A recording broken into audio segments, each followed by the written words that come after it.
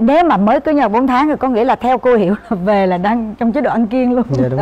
Dạ đúng rồi. Đúng Ngủ rồi. riêng. Ngủ Đó. riêng không ngủ chung Dạ, đó thấy không? riêng. Ờ. nhưng mà đồ ăn của con là con nấu của con nha. Còn đồ ăn của chồng là con vẫn nấu bình thường. Là con nấu chồng con nấu đúng. món gì con cũng nấu muốn ăn cái gì con nấu cái đó. Rồi nêm nếm thì sao? Con nấu theo bạn cảm nhận của con. Nhưng con mà không nêm luôn. Con đúng không nêm, con nấu là chồng là nêm. là nêm là không được. Chưa bao giờ có một món nào mà con kêu dở. Nấu là ăn hết một nồi cơm nó rất là vừa miệng. Rồi hai đứa lấy nhau được bao lâu rồi con? Dạ 4 tháng ạ. Lấy dạ. nhau được bao lâu? Gần hai năm. Gần hai năm. hai năm. thì là chỉ có trục trặc cái vụ mà trước khi cầu hôn là Dạ, bên đúng. gia đình Ừ. bên con Dạ, ờ, vâng. như vậy thôi. Hai đứa em thấy nó hiền quá chị. Chắc không bao giờ mà gây lộn gây lạo cũng được hay là ờ có gây lộn rồi giận hờn gây nữa. nhau được dạ có. Trời cười. Thôi dầm vô vụ kia vụ mà sau khi kết hôn đó là Bốn mới mới được 4 tháng. Đúng không? Dạ. đó. Rồi mới ở chung với nhau được 4 tháng như vậy á ừ. thì là trời ơi coi như nếu mà mới cưới nhau 4 tháng thì có nghĩa là theo cô hiểu là về là đang trong chế độ ăn kiêng luôn. Dạ đúng. Dạ đúng rồi. Đúng ngủ riêng. Ngủ riêng không ngủ chung. Dạ, đó thấy không? riêng. Ờ. nhưng mà đồ ăn của con là con nấu của con nha còn đồ ăn của chồng là con vẫn nấu bình thường. Là con nấu chồng con nấu đúng. món gì con cũng nấu muốn ăn cái gì con nấu cái đó. Rồi nêm nếm thì sao? Con nấu theo bạn cảm nhận của con. Ờ. nhưng con mà không nêm luôn Con đúng không rồi. nêm, con nấu là chồng là nêm. nêm là nêm là không được. Chưa bao giờ có một món nào mà con kêu dở. Nấu Nè. là ăn hết một nồi cơm.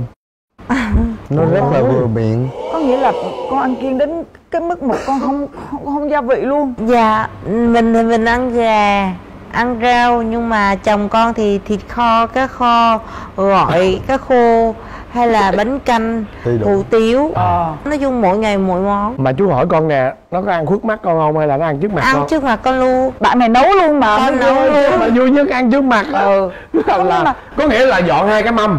Dạ đúng. Dạ đúng. Mạnh ai nấy ăn. Dạ. nhưng mà ngồi đối diện hay là ngồi Đối nghĩa là diện ngồi luôn. chứng kiến nhau luôn á. Kiến kiến Trời luôn. vậy mà nhưng mà con con lại luôn. thích gì nè anh ngon anh kêu ngon vừa miệng lắm. Rồi ngon lắm con em không gừng nêm mà ngon lắm em. Không, con kiểu con con thích kiểu gì này con nấu ra cho mọi người ăn xong con nhìn mọi người ăn và con hỏi là có ngon hay không. Ừ. Dạ con thích như vậy. Coi như là cưới xong là coi vô chế độ kiêng khem luôn vậy đó. Dạ. Dạ. nay xả được chưa? Đúng rồi đó đúng Dạ rồi. chưa. Bữa nay chưa xả luôn. Ủa rồi nằm ở xã 7 ngày nữa là con sẽ đi Indo tham gia giải châu Á. Ờ. đi một tuần là thành hai tuần con đại diện cho đoàn Việt Nam để sang quốc tế thi. Ồ. Không vậy là mình phải qua cái kia đi. Wow, chắc wow. chắn á là ni nó kể trước là sẽ nhiều tật lắm. Tại Đúng. đang bực á đang Ờ, trong ờ, cái đoạn ờ. bực bội á. Rồi bây giờ nè từ lúc về ở chung nhau rồi tật xấu gì của của của quân nè? Rồi ra. Hay bày hay kiểu như là làm cho có làm cho xong thôi chứ không làm hoàn thiện. Rồi à, đồ qua. để tùm lum tùm la không à. Đó. như mình dọn đi thì ảnh lại xả ra. Rồi có mê cái gì không mê chim mê chim. Mê chim? Dạ. Chim gì? Còn mấy con chim à, đi thi chim hót á không phải nuôi một con đâu nuôi tới 10 con lận. Mà một con kêu là 10 con kêu là con hết ngủ luôn. Con kia con rất là khó ngủ. Mình đói mình khó ngủ mình mệt nữa. Nhưng mà mấy con chim nó cứ kêu không à. nó kêu quá mà. nó kêu không ngủ được. Anh này mê chim lắm cô vân mê từ lúc đi học tới bây giờ luôn. Ờ. Không nhưng mà thực ra với cái mê chim đó thì cũng không phải là tật xấu Đỡ đó là dạ. đam mê đó con. Dạ. Có cọc vậy, cằn hay là có ghen tuông? Hồi xưa ghen nhưng mà bây giờ vậy hả? lần đầu tiên thì có ghen. Thì đàn ông mà ai mà mình bạn gái mình mà đi đâu lâu mà mình nhắn tin không trả lời. Gọi điện không nghe máy luôn. Ồ. Mà môn thể hình là đàn ông nhiều hơn phụ nữ mà. Ừ. Thì lúc đó mình mới ghen. Kiểu mình ức đến nỗi mình chảy nước mắt luôn. Ôi rồi lại con gọi hoài gọi hoài không được. Xong cái tới ngày hôm mà vợ con thi xong thì vợ con mới gọi lại. Ừ.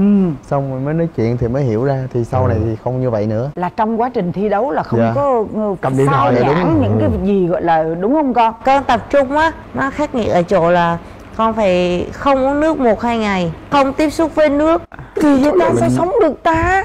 Tức là nhịn đói thì không chết chứ nhịn nhịn uống là chết á. Ôi, vậy là con có mong muốn chồng thay đổi điều gì không? Dạ có. À thay đổi gì con? Chồng chồng con là à, mỗi lần con nói làm gì đó anh biết rồi anh nhớ rồi. Nhưng mà hôm sau lại quên không biết À. không quên. Con nhờ một cái việc gì đó là cổ cả tháng mới xong họ hứa rồi đó. Dạ cái tính như vậy đó không À. có nhớ gì hết đó cứ tập trung vào mấy con chim không à. Ờ dạ Mê vậy đó mê chim á. Cứ sáng sớm ngủ dậy làm gì làm á phải mặc áo quần vô đi mua đồ ăn cho chim trước đã. Ừ. rồi còn mọi việc tính sau. Tức là có có mong muốn là bớt mê chim lại không? Dạ có. Con muốn bớt mê chim lại với lại tập trung vào công việc nhiều hơn. Đừng bày hay nữa. Tới con đó vợ con có những cái tật xấu gì vợ con chỉ có tật xấu là tiết vô hay khó chịu thôi. Ừ.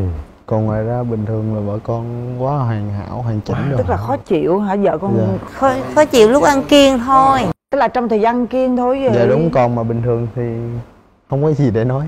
Có mong muốn thay đổi điều gì không? Con chỉ muốn vợ con lúc nào cũng là chính vợ con chứ con không muốn vợ con bắt chước hay là một bản sao quay cả. À, có nghĩa là khỏi thay đổi đó con. Dạ. không cần thay đổi gì à, hết. có dự định là khi nào là có em bé không? Dạ có ạ. À, dạ thi xong. Thi xong đợt này? Dạ.